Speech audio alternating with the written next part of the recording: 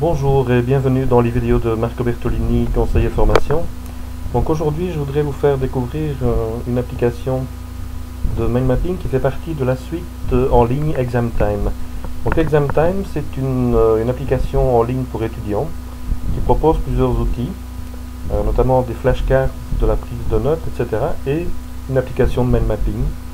Et dans cette application de mind mapping, il existe un mode vue qui permet de faire des présentations de votre mind map. Donc voilà, je lance. Donc ceci est un premier essai de, mind map que j'ai fait avec euh, l'application mind mapping d'Exam Time. Il faut faire un peu attention parce que je me suis rendu compte que la présentation démarrait dans l'ordre inverse de la construction de la carte. Donc ce sont les derniers sujets que vous avez créés qui apparaîtront en premier dans la présentation d'Exam Time. Donc faites bien attention à la façon dont vous construisez votre carte si vous voulez en faire une présentation.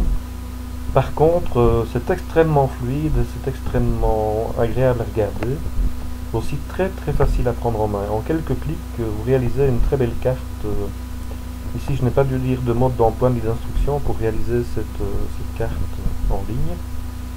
Et donc, vous pouvez aussi formater le texte, vous pouvez formater le sujet, changer la taille du texte, la couleur, donc passer de nuances de, noir au blanc en, passant par le gris.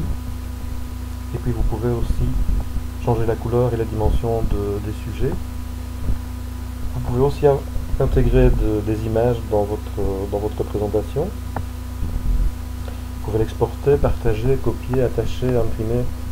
C'est assez impressionnant pour une application qui fait partie d'une suite en ligne gratuite. C'est assez impressionnant de voir le nombre de fonctionnalités qui sont disponibles et surtout la fluidité et la facilité avec laquelle on peut produire une, carte mentale sur ce type de dispositif.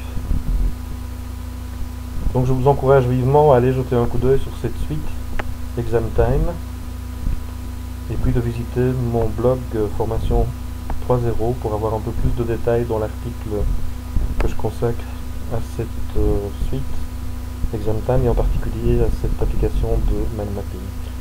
Merci de votre attention et à bientôt.